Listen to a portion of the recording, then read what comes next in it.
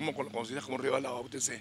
Un rival complicado, creo que van a venir acá a proponer y esperemos nosotros salir victoriosos y aprovechar la oportunidad de hacernos fuertes en casa. ¿no? Cada uno hace su partido y nosotros tenemos que hacer el nuestro.